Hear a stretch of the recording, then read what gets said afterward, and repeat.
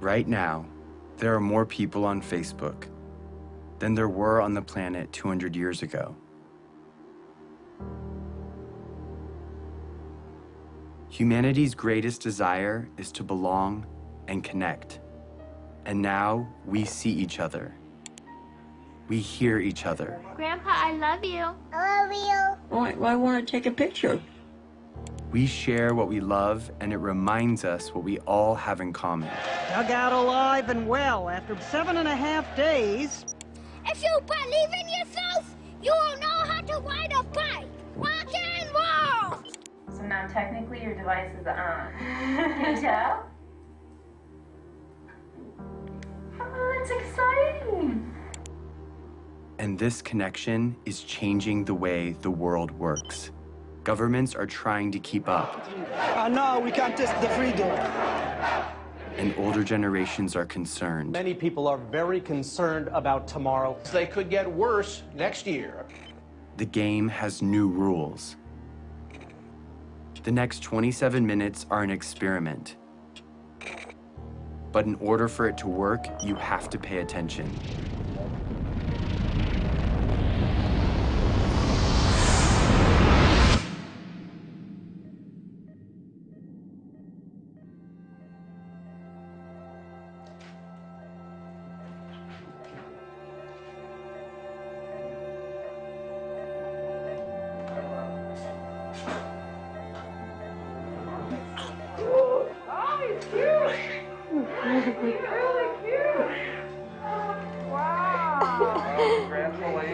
I can hear him. Every single person in the world started this way. He didn't choose where or when he was born, Yeah, he but because he's here, he matters. Yeah, we've been waiting for you. You made it. My name is Jason Russell, and this is my son, Gavin.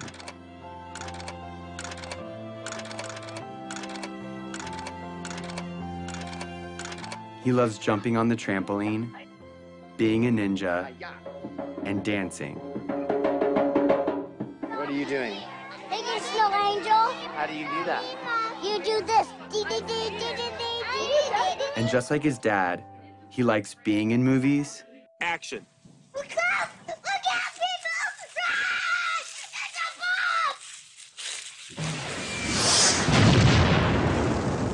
And making movies. Daddy, watch this. I think you got the video. But he was born into a pretty complicated world. And as a dad, I want him to grow up in a better world than I did. And because of the course of events in my life, I see a way to get there. It has become my job. Who are you to end a war? I'm here to tell you who are you not to. Hey, Gavin, what's up? Who's? Years before Gavin was born, the course of my life was changed entirely by another boy. And who's this right here? Jacob.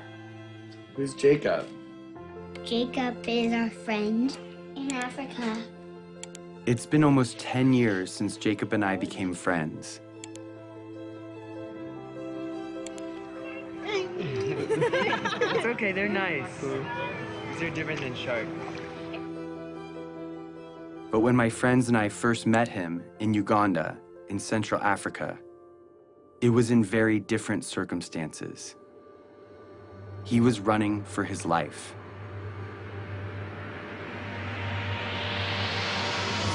Uh, you go to school here. Yes, Yes, that's how you know English so well. I know. Yeah. How many nights have you stayed here? Alors, you are making our work very, very difficult. You stop that now. The night I first met Jacob, he told me what he and other children in northern Uganda were living through. We worried the rebel when they raise us again, then they, they will kill us. My brother tried to escape. Then they kill using panga. They cut his neck.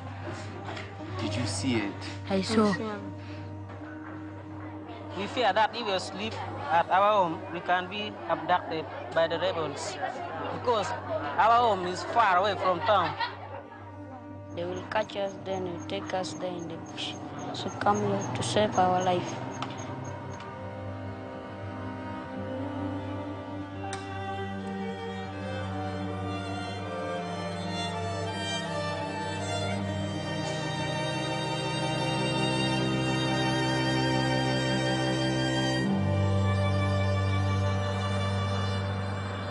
Not. This is absurd. cannot believe it. This has been going on for years. If that happened one night in America, it'd be on the cover of Newsweek. What is it that you want to be when you grow up? For me, I wanted to be lawyer, but no money. I don't have money to pay my school fees, so that I learned and then I be lawyer. Hmm. After spending a few weeks with Jacob, he told me something I would never forget. So it is better when you kill us. And if, if possible, you can kill us, you kill us. For us, we don't want now to stay because You we, don't are, want to stay on Earth. we are only two, no one taking care of us. We are not going to school. So You would how are rather die than stay on Earth. Yes. How, Now, even now. Even now. How is are we going to stay? Our in our future? He told me more about his brother and what he would say to him if he were still alive. I love you, but now I miss you. So it is better when we meet. We are going, even if we are not going to meet, but we, are, we, we may meet in heaven. You see? So it is better. I will not talk much. I will start something. Because if I saw my brother once again, I don't. Hmm?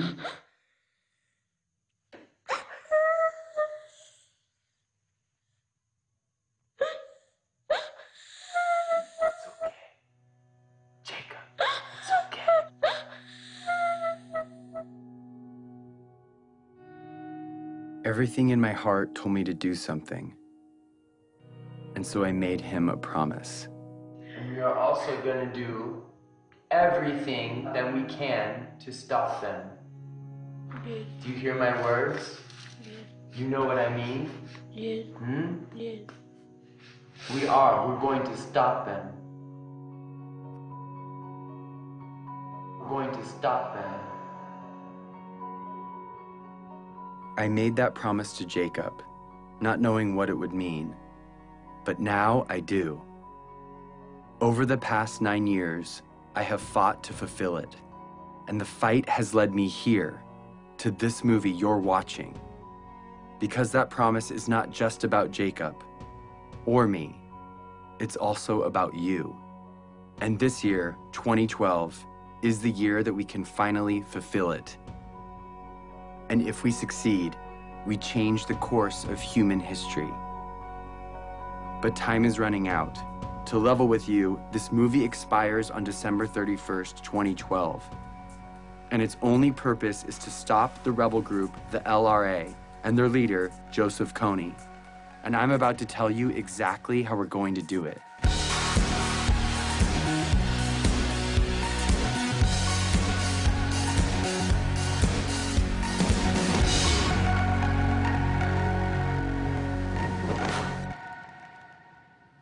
So the thing is, my son Gavin has never, I've never really explained to him what I do. He knows I work in Africa, but he doesn't know what the war's about or who Joseph Kony is. So I'm going to explain it to him for the first time today. That's what we're doing.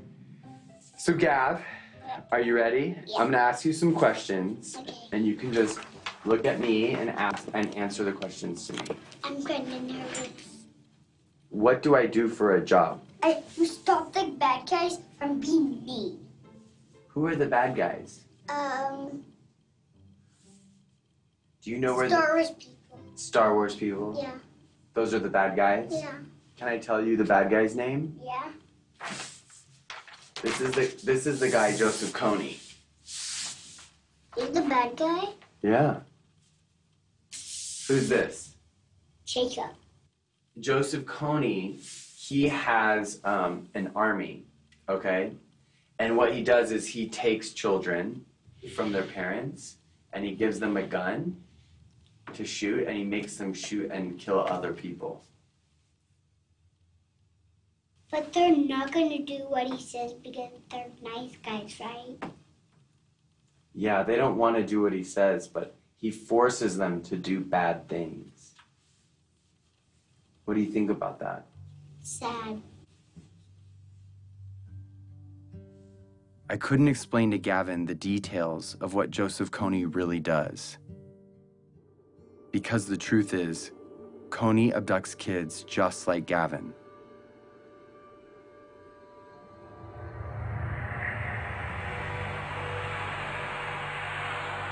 For 26 years, Kony has been kidnapping children into his rebel group, the LRA.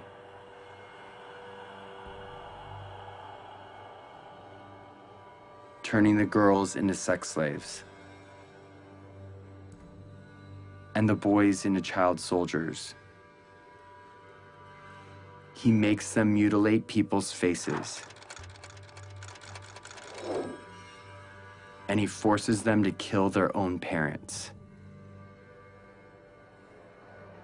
And this is not just a few children. It's been over 30,000 of them.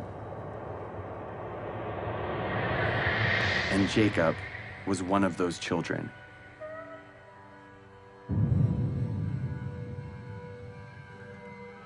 As if Kony's crimes aren't bad enough, he is not fighting for any cause, but only to maintain his power.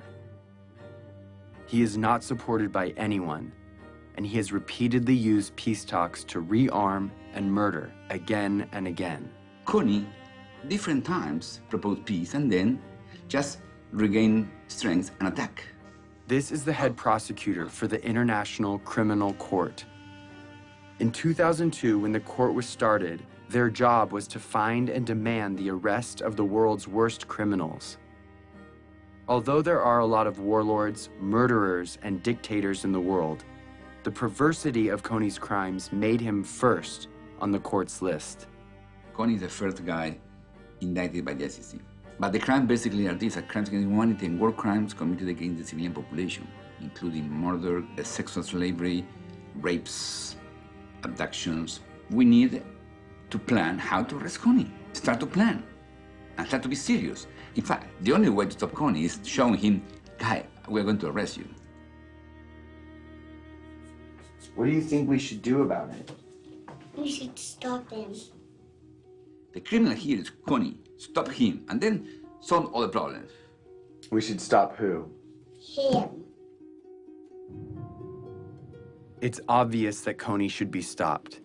The problem is 99% of the planet doesn't know who he is. If they knew, Kony would have been stopped long ago. Let the world, let the international community take justice to him there. Follow him wherever he is. First, to rescue our children. And secondly, to deliver, deliver the justice. We are determined to cooperate with any friend of Uganda to ensure that this mindless killing and slaughter is ended. When my friends and I came home from Uganda, we thought that if the government knew, they would do something to stop him. But everyone in Washington we talked to said there is no way the United States will ever get involved in a conflict where our national security or financial interests aren't at stake. No administration, Republican, Democrat, Obama, Bush, Clinton, doesn't matter, would do enough because it's simply not an important enough issue on the radar screen of American foreign policy. Since the government said it was impossible, we didn't know what else to do but tell everyone we could about Jacob and the invisible children. Let's show this movie to as many people as possible in such a way that we can't be ignored. And when we did, people were shocked, and their awareness turned into action. We started something, a community. I have friends that have been living in this conflict their entire life. Fight for that, because that is what is going to change this world, and that is what defines us. We got creative, and we got loud. And as the LRA began to move into other countries, Jacob, and other Ugandans came to the US to speak on behalf of all people suffering because of Kony. Even though Uganda was relatively safe, they felt compelled to tell the world that Kony was still out there and had to be stopped. I'm here so proud advocating for the people who are back at home. And this change we're going to make is going to last forever. We built a community around the idea that where you live shouldn't determine whether you live.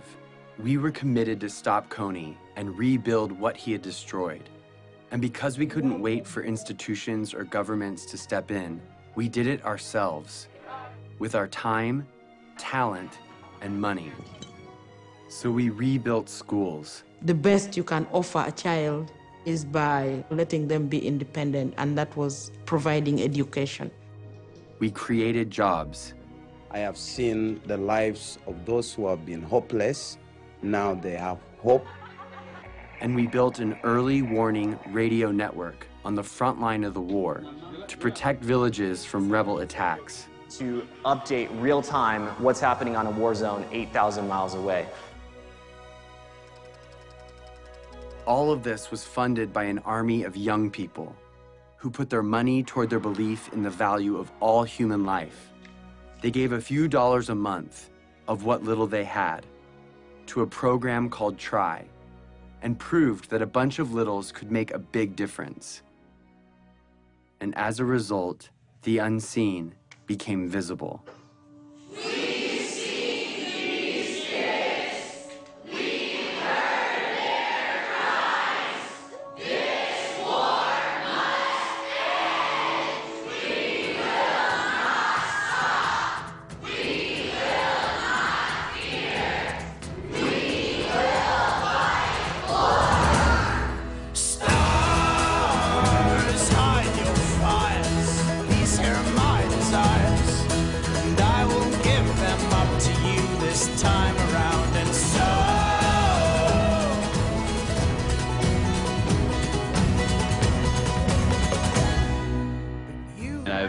People from Mexico, from Canada, from every other state that I can think of. We're all doing this for the exact same reason, and we're all coming from completely different places. This is what the world should be like.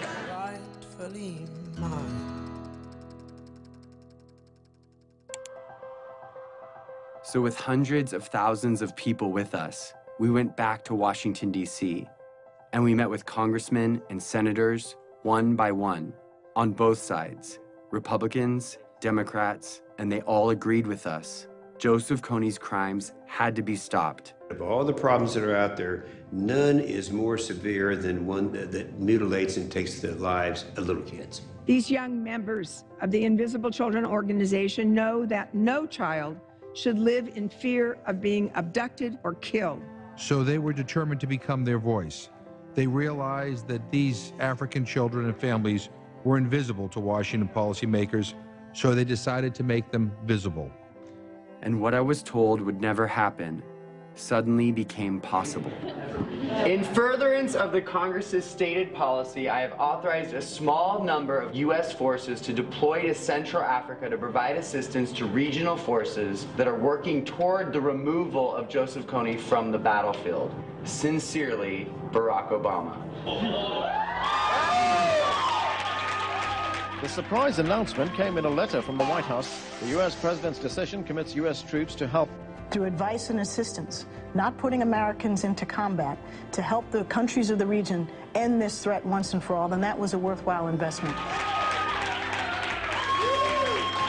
We used to think we could not do it, and now when I see we can do it, I am overwhelmed. After eight years of work, the government finally heard us. And in October of 2011, 100 American advisors were sent into Central Africa to assist the Ugandan army in arresting Kony and stopping the LRA. It was the first time in history that the United States took that kind of action because the people demanded it. Not for self defense, but because it was right.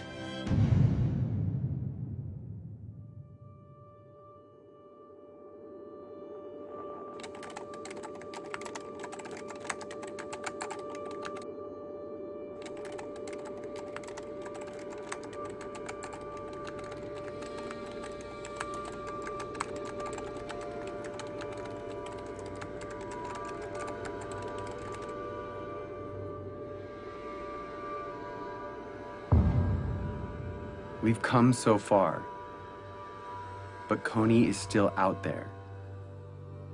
He's recently changed his tactics, making it even more difficult to capture him. And international support could be removed at any time.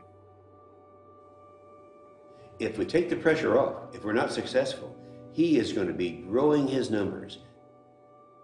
People forget, and, and you got to remind them, and it takes numbers to remind them. And if interest wanes, then uh, it'll just it'll go away, and I'd end up standing out there alone trying to do something to uh, support completing the mission. It's it's got to be 2012. It's not bad for the youth, it's bad for the world if we fail. It's not important just for Ugandan people, it's important for everyone. It's hard to look back on some parts of human history. Because when we heard about injustice, we cared, but we didn't know what to do. Too often, we did nothing. But if we're going to change that, we have to start somewhere. So we're starting here with Joseph Kony. Because now we know what to do. Here it is. Ready? In order for Kony to be arrested this year, the Ugandan military has to find him. In order to find him, they need the technology and training to track him in the vast jungle. That's where the American advisors come in. But in order for the American advisors to be there, the US government has to deploy them. They've done that, but if the government doesn't believe the people care about arresting Kony, the mission will be canceled. In order for the people to care, they have to know, and they will only know if Kony's name is everywhere.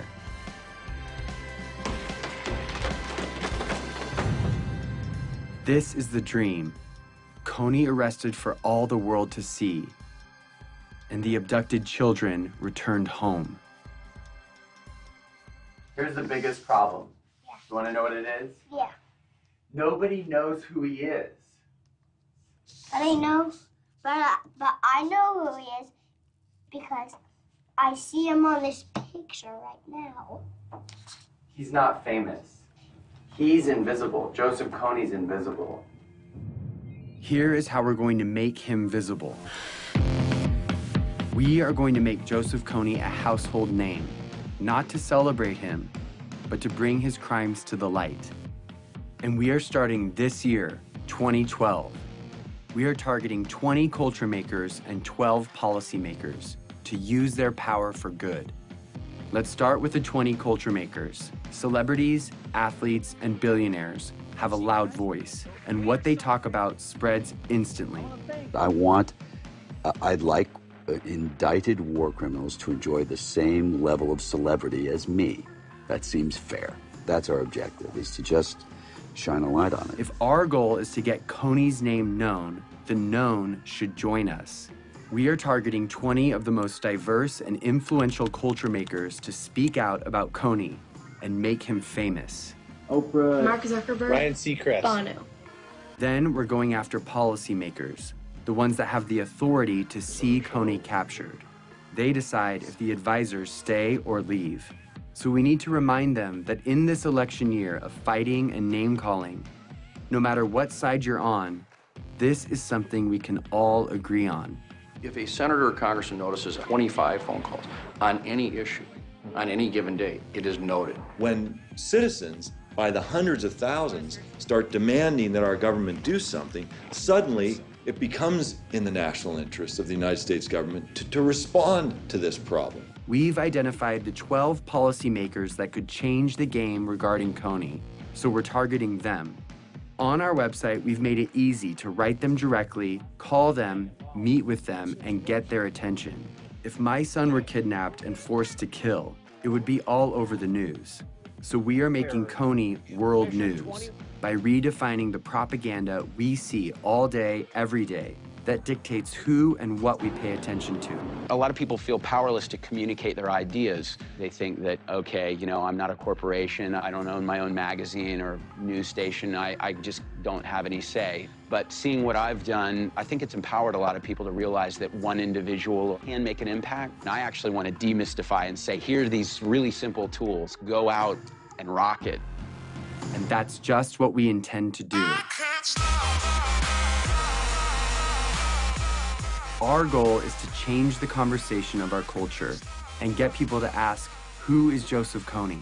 We have printed hundreds of thousands of posters, stickers, yard signs, and flyers that are right now, today, being put up in major cities all over the world. We have thousands of Kony 2012 bracelets that we want everyone to wear, this year only. Each bracelet has a unique ID number Input that number and you enter the mission to make Kony famous. You can geotag your posters and track your impact in real time. Everything you need is in a box called the Action Kit. It has two bracelets, one for you and one to give away. And if you want to help fund our life-saving programs, donate a few dollars a month through Try, and you can have the Action Kit for free. Start making Kony famous today but all of these efforts will culminate on one day, April 20th, when we cover the night. This is the day when we will meet at sundown and blanket every street in every city till the sun comes up.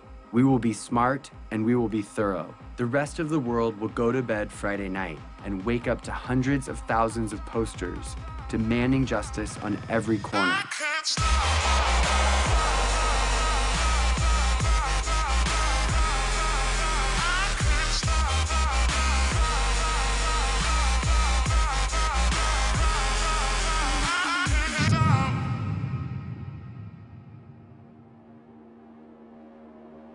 It's always been that the decisions made by the few, with the money and the power, dictated the priorities of their government and the stories in the media.